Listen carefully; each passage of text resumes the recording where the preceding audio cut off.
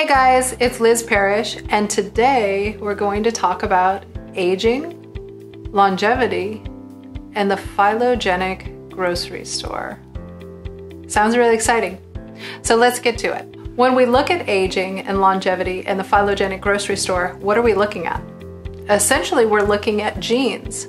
What genes give us the predisposition to live longer and healthier than we have before? So if we look at humans compared to something like a primate, we definitely live longer even though we share many genes with them. When we look at something like the bowhead whale, who lives for a couple hundred years and doesn't get cancer, we notice very different things. And in science, we're trying to figure out what those differences are in those genes. Why do their genes express differently and what sort of advantage can we get from those genes? I like to call other species part of the phylogenetic grocery store, meaning that they have potential gene technologies that we could integrate into our bodies in order to get maybe their advantage. So for instance, there are creatures in the sea that see in billions of colors rather than the mere millions that we see in. So what would the world look like?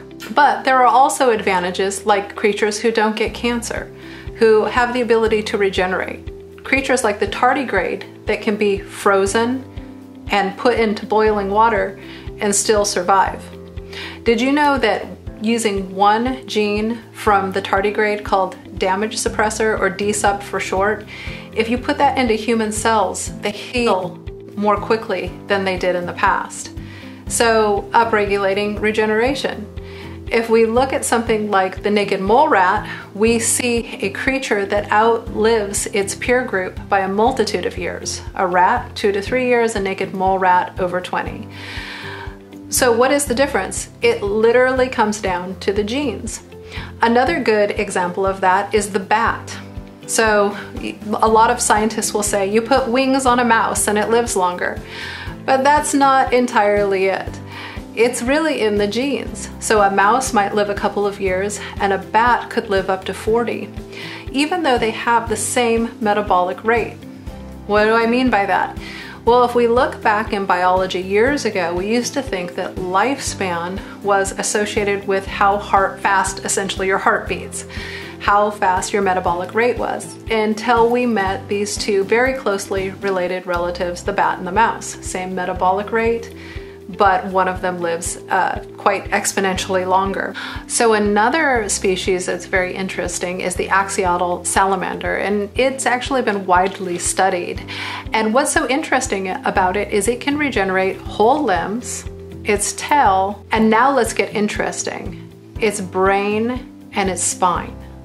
So how could that help people with spinal injuries or brain damage? It could be significant. And all of this is just different genes being turned on at different times.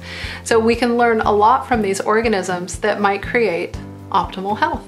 Today, when you go out into the world, whether you're looking at plants or animals, I want you to think about the technology that they have and how one might adapt that technology for the better future of human health.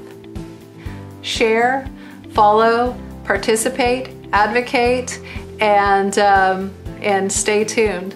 Please like our page. Thanks. Bye.